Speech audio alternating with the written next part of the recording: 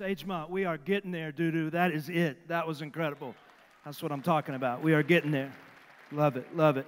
Open up your Bibles today to the book of 1 Peter, chapter 1, verse 1. 1 Peter, chapter 1, verse 1. We'll get there in just a minute.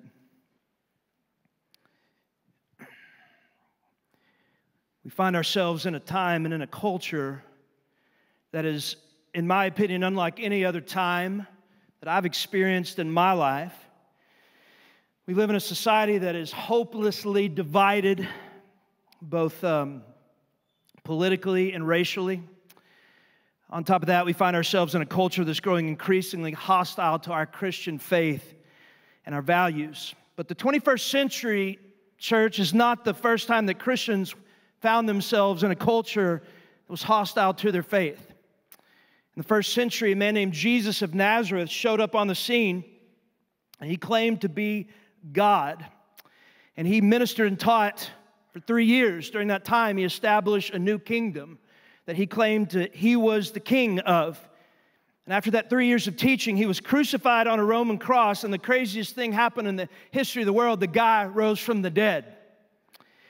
And the men that had followed him and his followers, who were on the night of his crucifixion completely scared to death, all of a sudden after the resurrection were incredibly emboldened and took the message of the gospel of Jesus Christ from Jerusalem to the ends of the earth at the time. And the government, who was in power at the time, did not like it. They didn't like it. These Christians refused to worship the emperor, but would only worship Jesus. These Christians refused to participate in the evil and sinful practices of the Roman culture. And because of that, the Romans, the Roman Empire viewed these Christians as a threat to their power. And so they began to persecute these Christians, these people that called themselves the church. And while the widespread, intense persecution of believers would not sort of begin for a little while, the apostle Peter, saw the storm clouds looming on the horizon. And he wrote a letter to the churches at the time scattered throughout Jerusalem and then all in the known area. And he wrote them, and I want you to hear this. He wrote them to teach these Christians not how to avoid suffering, but he wrote them this letter to teach them how to endure in suffering. Did you catch that? Y'all awake? He wrote them a letter not to teach them how to avoid suffering. He wrote them a letter to teach them how to endure suffering and be faithful to Jesus in the midst of a world that's going crazy. And guys, I hope I'm wrong. I really do. But it seems like to me that the storm clouds are looming on the horizon for us. And I chose to preach through this book. We're going to go verse by verse through it because that's what we need to do. It may be difficult to avoid suffering, but we need to be faithful to Jesus Christ no matter what comes. And so let's jump in together. First Peter chapter 1 verse 1. It says Peter an apostle of Jesus Christ to those who reside as aliens scattered throughout Pontus, Galatia, Cappadocia, Asia, Bithynia, who are chosen according to the foreknowledge of God the Father by the sanctifying work of the Spirit to obey Jesus Christ and be sprinkled with his blood. May grace and peace be yours in the fullest measure. Let's pray quickly. Father, I thank you for your word. I thank you for its power. I thank you for its clarity. I thank you, Lord, that years ago you enabled and empowered Christians to walk faithfully to you no matter what. I pray that we would be that people. Lord, speak through me today. Speak more importantly through your word today so that we can leave here different as how we came in. And I ask that in Jesus' name. Amen.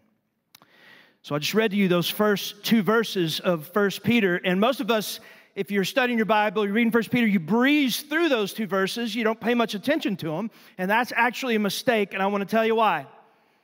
Because what Peter just did in those first two verses was give us the secret to rejoicing in the midst of trials and suffering.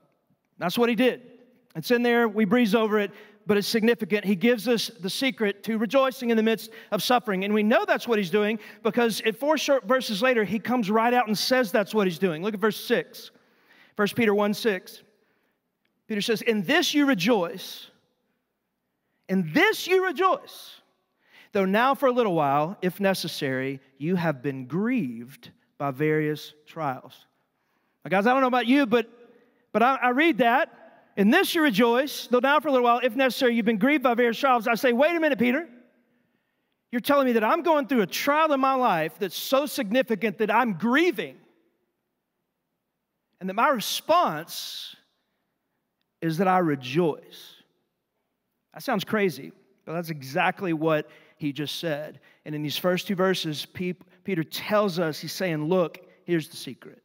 Here's the secret to doing that the secret to rejoicing in the middle of trials and suffering. And so, in these first two verses, what Peter does, he gives us six data points, kind of six thoughts, six foundations, things we need to remember to enable us to rejoice when persecution and suffering and trial inevitably comes. We're going to walk through four today, two next week but we'll be done after four. Here's the first one. Here's the first step, if you will, in these texts that we see to help us rejoice in the midst of suffering. Number one, if you're taking notes,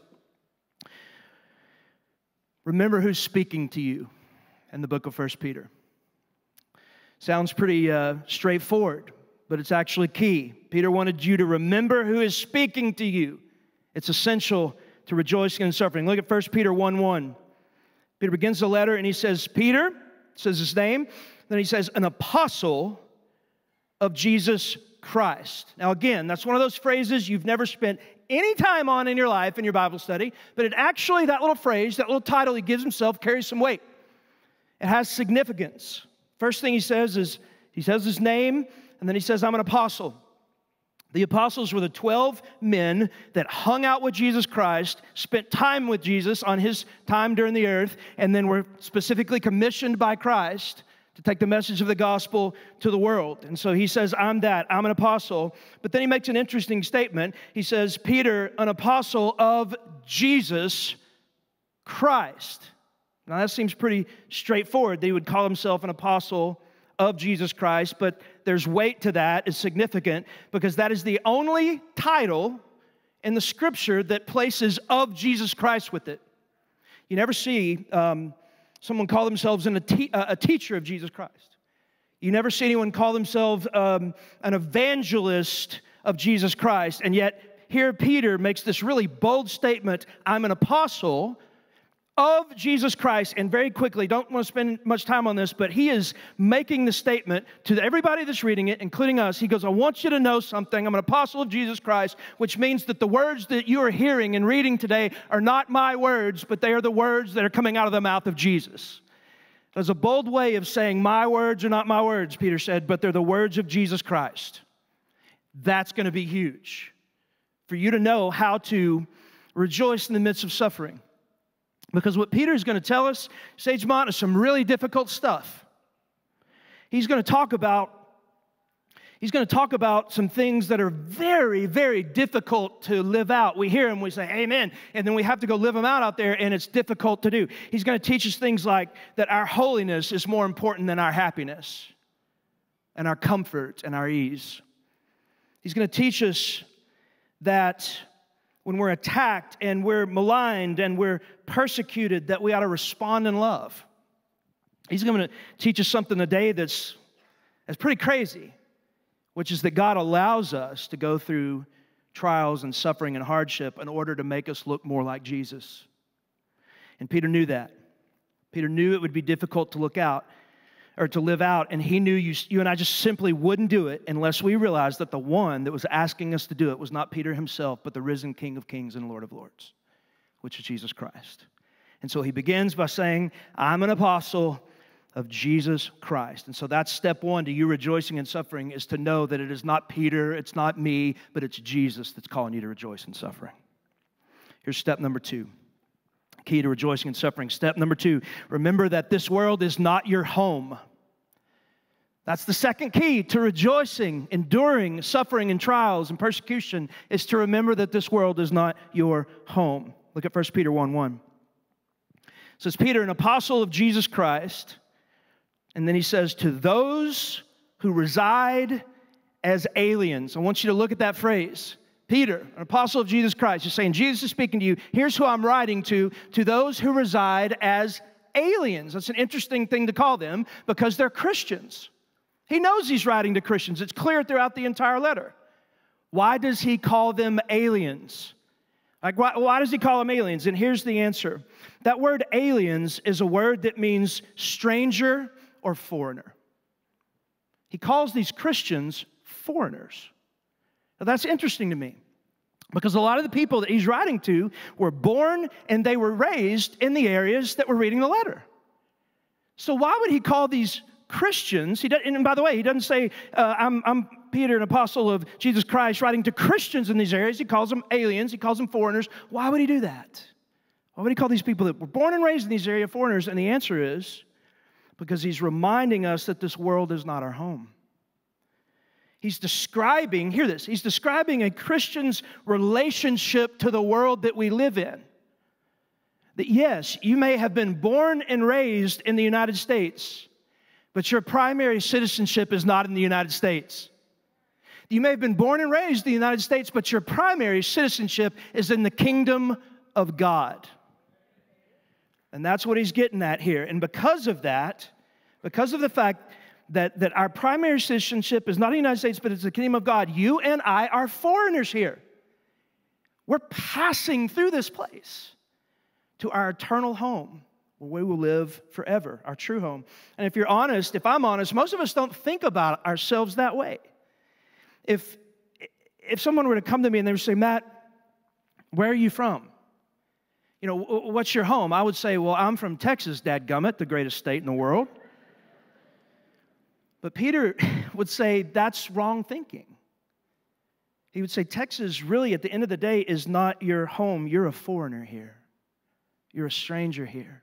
This is a temporary place where you're just passing through. And when that starts sinking in, that's key to you enduring suffering. Because when that starts sinking in, it's going to change the way you view this place. And here's what I mean when I'm talking about that. Um, you guys called me to be your senior pastor. My first Sunday was May 17th.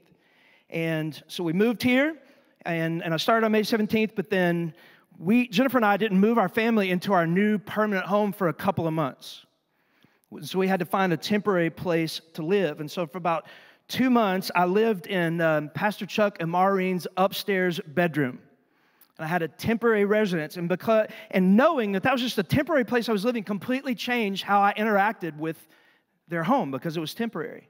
I'll tell you what I didn't do in my temporary home. I didn't come up to Maureen and say, Maureen, you know, I'm not a big fan of the color that you painted this room that I'm staying in. Could we, could we paint it a different color? You know, I didn't, I didn't um, get bored staying up there in the room because they didn't have a TV, and so I didn't go buy a TV and mount it on the wall and, and get DirecTV plugged into the upstairs bedroom because I didn't have it. I didn't come to Pastor Chuck and say, Chuck, you know, man, it's, um, it's May, it's, it's peach season. Let's go, let's go buy a tree and plant a peach tree and start growing it. I didn't do that. Why? Because I was only there on a temporary basis. And that's what Peter's reminding us. He's saying, Look, you're an alien here, you're a stranger here. This is your temporary home. This is how you need to view this planet because when you do, it's going to profoundly change you. Because all of a sudden, things are going to start happening when you really believe that, what the Bible says. It'll change you all of a sudden. You giving of your finances to expand the kingdom of God is not some big sacrifice, but it's an investment in your future eternal home. All of a sudden, service to the church or to, for, for the name of Christ and the building of his kingdom, all of a sudden that's not a drudgery, but you're storing up treasure for yourself that you're going to get to enjoy forever in your eternal home. And even if you walk through suffering, and you walk through trials and you respond in a Christ like way, that is just one more crown that you get to lay at the feet of Jesus. Peter knew that. He knew that the secret to rejoicing in the midst of suffering is to remember that your suffering is temporary. And you will spend eternity in a home, in a place, in a time where you will never suffer ever again. So that's step number two.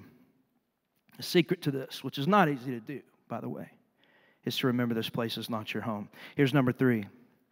Here's step number three in rejoicing and suffering. And this is when it starts getting difficult for some people, so I want you to listen carefully to me.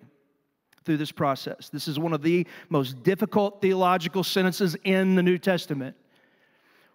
Step number three rejoicing in suffering. Remember that God is sovereign and works all things for your good. Not that sentence, but the Bible sentence is the, is the hardest one. Remember that God is sovereign and works all things for your good. Now, guys, this next part of the verse is one of the reasons that most preachers don't preach verse by verse to the Bible.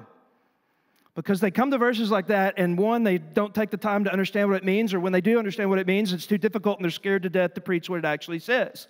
It's kind of a difficult statement at first glance, but the more it sinks in, the more you realize that this is going to be one of the most comforting things you ever hear in your entire life. Let's read it together 1 Peter 1 1. Peter says, I'm an apostle of Jesus Christ. These words are the words of Jesus. To those who reside as aliens, this is not your home, you're a foreigner here.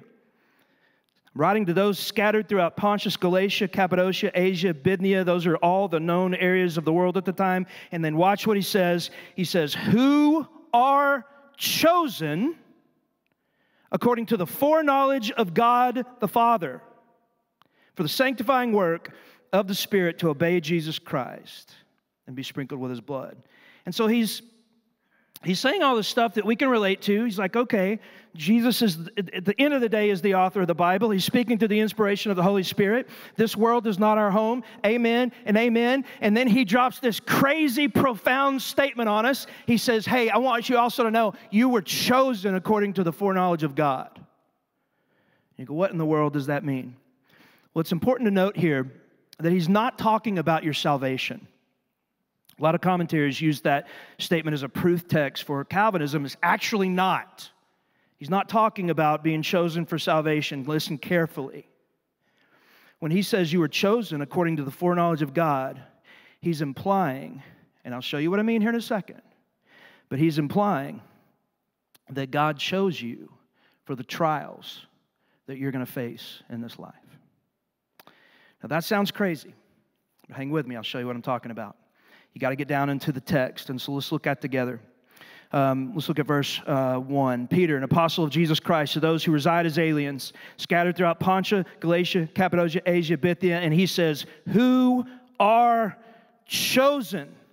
And so he makes the statement that you and I, as believers, and these people that are hearing it that are believers, they were chosen. Now, that is the Greek word electos. And without going into a whole sermon on it, which I could, that simply means that God handpicked you for something. I didn't say this. I didn't come up with that. It's literally what it says. It says, I'm writing to the people that were handpicked by God.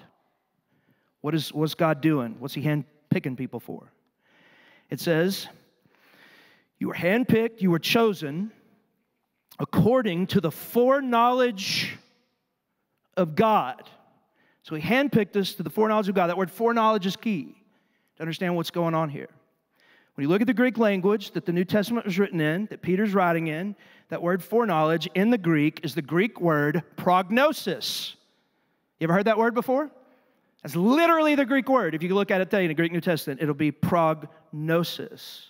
Now, here's the definition of the word prognosis. Prognosis is the forecasted or the forecast of a likely outcome of a situation. It's the forecast of a likely outcome of a situation. I've heard that word before myself. When I was 31, I got diagnosed with cancer of the appendix. We had surgery, they removed the appendix. They did the biopsy on my lymph nodes and, and everything, and they came back and they said, Matt, everything looks good. We want to give you your prognosis. We, we have a forecasted outcome likely outcome of what's going to happen. They said, We think we got all the cancer. Your prognosis is good. We don't think you'll ever see this cancer again. That is literally what Peter is saying here. He's saying that when suffering comes into your life, you don't freak out, but you rejoice. Why? Because God chose your prognosis. That's what he said. In other words, God hand picked you, He selected you for a forecasted outcome. And this is not the first time we see this in Scripture. Don't turn there, but Psalms 139 16. The psalmist literally says this in Psalms 139 16. The psalmist says, Your eyes, God, talking to God, he said, Your eyes saw my unformed substance. And in your book were written, in your book were written, every one of them, the days that were formed for me, when as yet there was none of them. Guys, that's profound. Here's what the psalmist just said that every single solitary one of your days were formed and were written down in God's book by God before you ever lived one of them.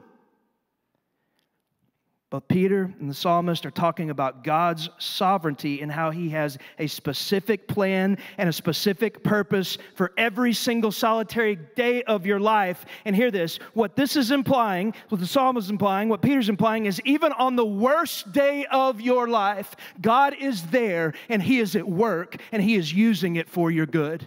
And, church, that is the best news I've ever heard in my life.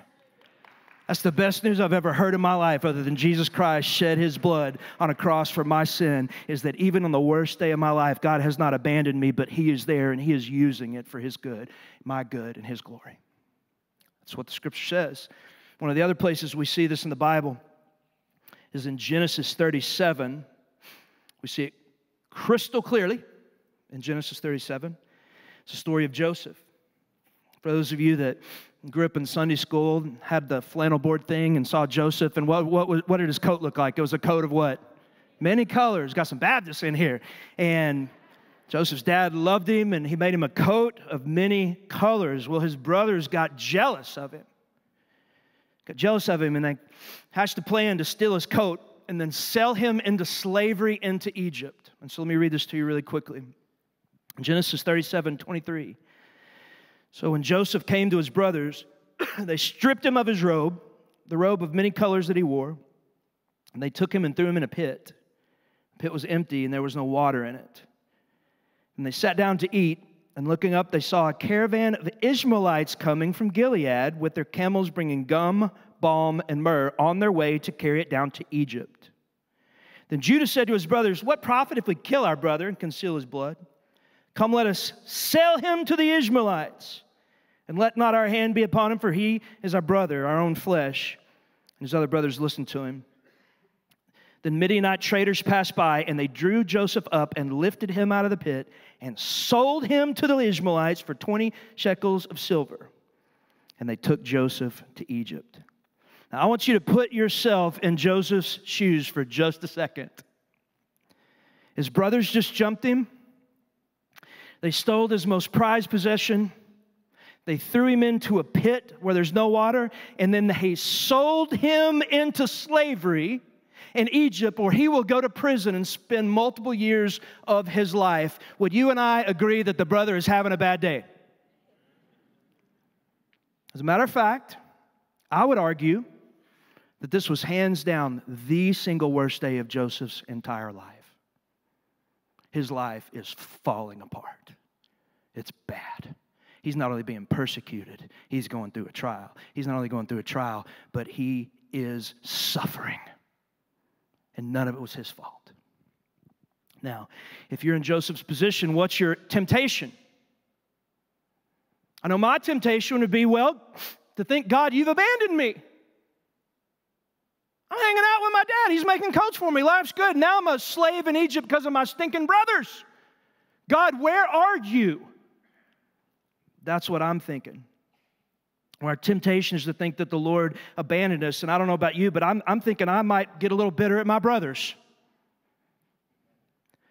I'm thinking maybe that um, my heart would even begin to hate them. I, I think I might even, some of us might even begin to get bitter at God because He allowed this horrible evil to happen to us. But that's not how Joseph responds. He gets sold into slavery by his brothers, but he never got bitter. He never walked away from God. And because of that, Joseph began to grow in his favor with his Egyptian captors to the point that he eventually rises to be one of Pharaoh, the Pharaoh of Egypt's top advisors. Years later, Joseph's brothers get captured, they get brought to Egypt. And because Joseph had risen to power as one of Pharaoh's top advisors, his brothers were brought before Joseph, and he got to decide their fate. Now let's put our, uh, ourself in Joseph's position again. You've got these guys in front of you that have horribly mistreated you and abused you and were the, the reason behind the single worst event in your entire life there before you, what do you do? Again, I think I would be tempted to put those guys in jail for at least a couple of days to think about what they did to me. But that's not what he does. He ends up blessing them. He blesses them, doesn't retaliate against them, gets them released. Guys, how did he do that? Y'all, y'all heard all that, and you're like, I, I think I would have responded kind of Matt, how you were saying, not how Joseph was saying. How in the world does he do that? He tells us in Genesis 50, 19, watch this. Joseph tells us how he was able to do it. In Genesis 50, 19, the brothers are in front of him. Joseph speaks. It says, But Joseph said to them, to his brothers, Do not fear, for am I in the place of God? tells his brother, Hey, don't be afraid because I want you to know that I know that I'm where I'm at because the Lord has me here. I'm in the place of God in slavery in Egypt. And then he goes on, and this is a profound verse, verse 20. He looks back at him he says, As for you, you meant evil against me, but God meant it for good. You, brothers, you meant that for evil, but in that moment, the worst moment of my entire life, God meant your evil for my good. That's what Peter's saying. That's all he's saying. Peter's teaching us that when trial comes into your life, and it's coming, the secret to not falling into despair, the secret to not growing bitter, the secret to rejoicing is to remember that even on your worst day, God takes what the world meant for evil, God takes what Satan meant for evil, God takes what your enemies meant for evil, and He destroys the power of those things by turning them and using them for your good and His glory. And again, it's the greatest news I've ever heard in my life. Now, really quickly, step two, step three how do we rejoice in the midst when our life is falling apart? We remember the sovereignty of God and that He's using everything in our life for our good and His glory. Here's the last one, number four. the key to rejoicing in the midst of suffering is remember that God uses every trial to he uses every trial in our life to transform us into something that's beautiful and powerful. That's it's huge, it's key for you to remember that every trial you're walking through in your life, God is at work. We just learned that. He's sovereign. He's at work. What is He doing in us in that trial that He's at work in? He's transforming us through that trial into something powerful and beautiful. Let me show you exactly what I'm talking about. Look at verse 2, 1 Peter 1 2. Says, According to the foreknowledge of God, you were chosen, according to the foreknowledge of God the Father God chose your prognosis. And then the next thing he says, Peter tells why God chose your prognosis. He says, according to the foreknowledge you were chosen, according to the foreknowledge of God the Father. Why? For the sanctifying work of the Spirit to obey Jesus. Peter said, God chose you according to the foreknowledge of God the Father. He handpicked your prognosis. Why? for the sanctifying work of the Spirit that you would obey Jesus Christ. What Peter is saying here, church, listen carefully. He's saying through every moment of suffering, every moment of trial in your entire life, the Holy Spirit is at work through that trial, transforming you and sanctifying you into a person that looks like Jesus Christ. We think the greatest good in our life is to be free from suffering. We think the greatest good in our life is for us to avoid suffering. Peter's saying, no, actually, the reason you rejoice is because the greatest good in your life is when you walk through suffering and it makes you look more like Jesus. That's the greatest good. And so that some of us, we need to let that sink in today. We need to let that sink into our lives today, into our hearts today. Because what he's saying, again, he's, he's writing these people to comfort them, comfort them in the midst of suffering, but he doesn't write them to comfort them by saying they're going to be able to avoid suffering. Everybody look at me. He's comforting them by saying that every single time you suffer in this life, it has a purpose. Every moment of it has a purpose. God is at work. Let that sink in. Are you going through a trial right now? You just got through a trial. Three kinds of people. You just got through a trial, you're walking in a trial, you're about to go through a trial. let it sink in. God's not allowing you to go through that trial to harm you or to punish you. He's not allowing you to go through that trial because He's forgotten you. It's actually the polar opposite of that. He's allowing you to go through that trial because He loves you. He's allowing you to go through that trial not because He's left you, He's allowing you to go through the trial because His hand is upon you. He's allowing you to go through that trial not because He's forgotten you, because He is transforming you into something more beautiful and powerful than you were for the kingdom of God. And that's incredible news. We forget that.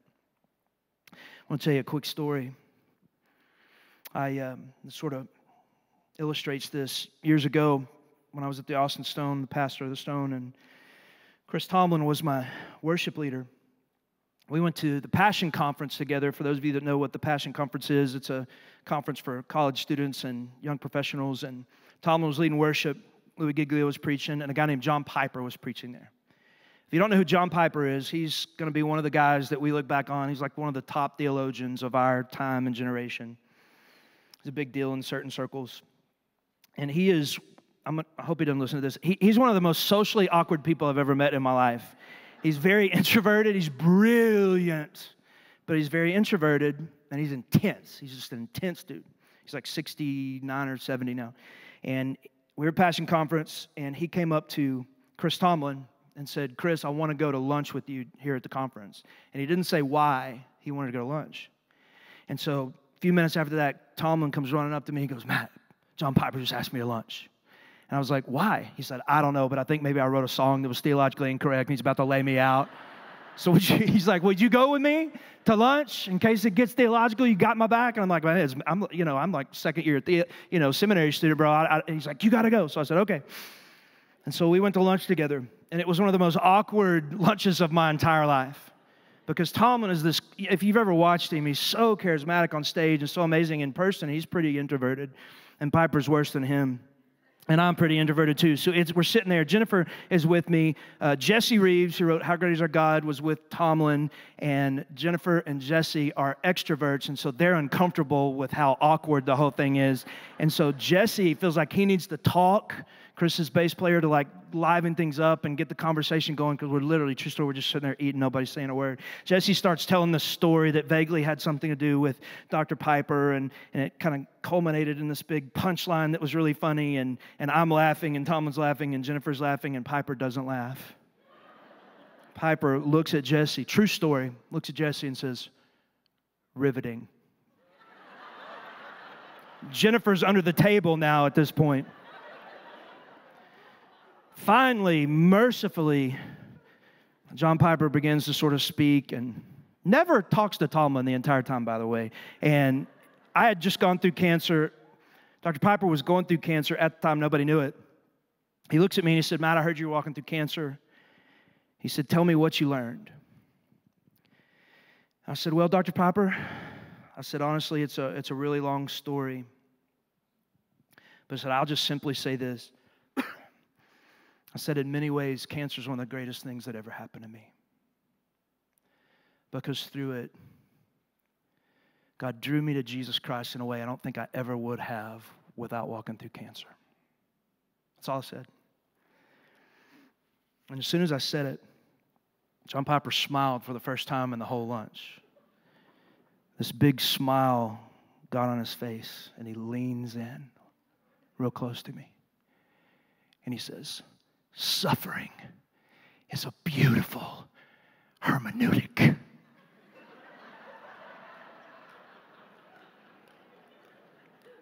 and I remember thinking, I have no idea what that means. True story. Grab my phone under the table. I'm texting pastor at the, one of the pastors at the stone. I'm like, suffering is a beautiful hermeneutic. What does this mean? Quick, quick, quick, quick. Tell me. And he texts back. He says, Matt, that means that suffering makes the Bible come alive. That suffering brings God into this sharp clarity that you don't ever see when everything is good. The greatest moments of spiritual growth in my life, church, did not happen in the good times, but the greatest moments of spiritual growth in my life, they happened when my life was falling apart. Because when my life was falling apart, God gave me something that was so much better than ease and comfort and safety. He gave me more of Himself. And that's what Peter is saying be comforted, rejoice. You can rejoice in suffering because you remember who's speaking to you. It's not Peter, it's Jesus. You can rejoice in suffering because you can remember this world is not your home. You can rejoice in suffering because you remember that God is sovereign and that He's working every moment of your life. And lastly, you can rejoice in suffering because you remember that God is transforming you into something beautiful and powerful. And I'll end today. I'm done. Don't move. Hear this. I'm done with this. In light of everything we've learned today, in light of everything we're going to see, Peter is screaming from the rooftops this truth, this reality that if you're here today and you're not a believer, enjoy this life. Soak up all this life that you can. Live for every moment. Gather up as much stuff as you can. Experience everything that this life has to offer. Because if Jesus Christ is not your Lord and Savior, this life is as close to heaven as you're ever going to get. But if you are a believer. If you've trusted in Jesus as your Lord and as your Savior, if you're His child, if you're His son or you're His daughter, endure suffering. Endure it when it comes. Endure the trials and the tribulations and the mockery and the scorn and the persecution. If you're his child, you can rejoice in suffering. You can stand tall and smile at the looming storm clouds that are coming because if you are his child, this world is as close to hell as you are ever going to get. And that's why we rejoice.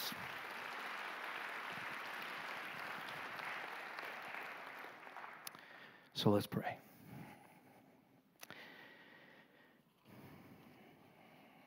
Father, I pray for those that have recently walked through trials. I pray for those that right now, as I speak, are in one. And I pray for those that soon will be. I pray that they would remember and they would stand fast with the reality that none of this takes you by surprise. That you're still on your throne, that you're alive, that you never sleep, you never slumber, and that you're good and that we can trust you with every moment of our lives. Father, this world needs a lot of things, but one thing it needs are people that trust you no matter what. Help us be those people, no matter what we face in the days to come. Let's shine like stars in the sky. Father God, we love you. We praise you. God, we pray that you would do this great work in us. And as we sing to you today, I pray it would be more than a song, more than words on a screen but it would be our confession and our prayer that all my life you've been faithful. That all my life you've been so, so good. And so, with every breath that I'm able, I'm going to sing of the goodness of God. We ask all these things today in Jesus' name. Amen. Amen. Church, let's stand together.